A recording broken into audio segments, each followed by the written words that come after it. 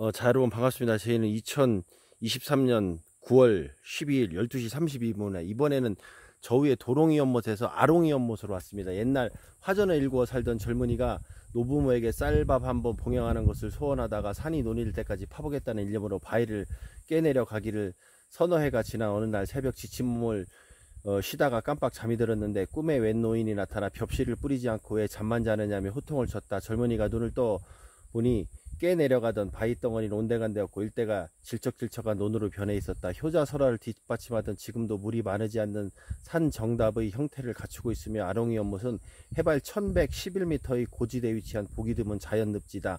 또한 주변에 드넓은 야생화 군락지가 형성돼 있어 생태 연구에 귀한 자료가 되고 있다. 라고 돼 있습니다.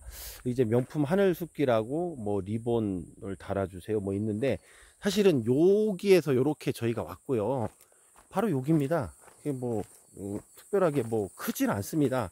그냥 뭐 소규모로 논을 질 수 있을 정도로 어, 그런 형태고요. 그 위에 이제 초등학교 아까 보니까 뭐 무슨 예터가 있던데 잠시 저희가 이 삼거리 길에서부터 보여드릴게요.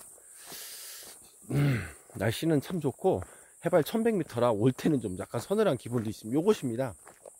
음, 조그만한 소규모의 형태의 논밭이고 요게 위에로 가면 또 하나 조그만한 게 이렇게 이어지면서 어 뭐 한 50평에서 100평 정도 될라나?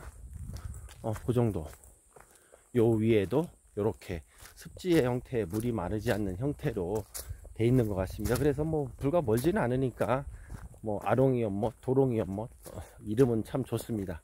아, 그래서 이렇게 이제 물이 내려왔던 자국이 있고 요로도 아까 요쪽으로도 내려오는 길이 있고 요쪽에 올라가면 이제 그 다른 게 있으니까 그거까지 한번 촬영을 해드리도록 하겠습니다. 아, 이제 멀지 않아. 한 9월 중순 정도 넘어가면 여기도 단풍이 들지 않을까 생각합니다.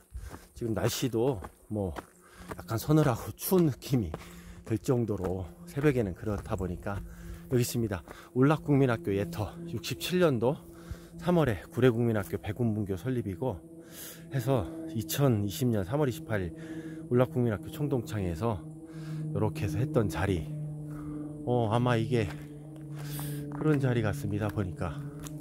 어 이렇게 해서 있던 자리. 요게 아마 이제 학교 그 앞에 그거겠죠?